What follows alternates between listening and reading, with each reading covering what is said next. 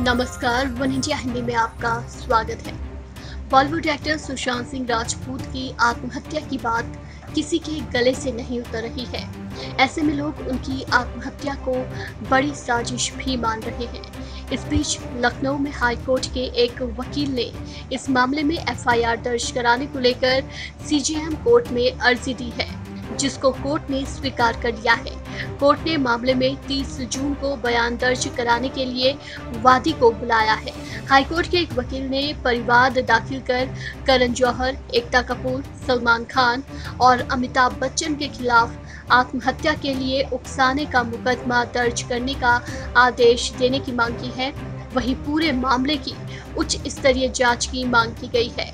बता दें कि एक्टिव सुसाइड मामले में जिन चार लोगों के खिलाफ अर्जी दी गई है उसे परिवाद या कंप्लेंट केस बोलते हैं।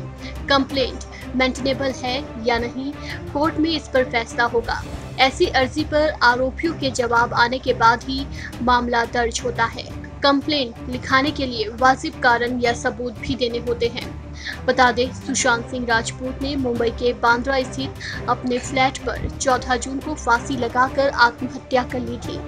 सुशांत के आत्महत्या के पीछे डिप्रेशन को माना जा रहा है। इसको लेकर बॉलीवुड में एक नई बहस छिड़ गई है।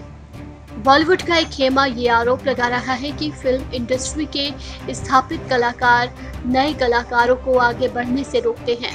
ऐसा सुशांत के साथ भी हुआ, जिसकी वजह से वो डिप्रेशन में चले गए और ये कदम उठाया। बता दें कि बिहार में सलमान खान करण जौहर समेत आठ लोगों के खिलाफ केस दर्ज किया गया है।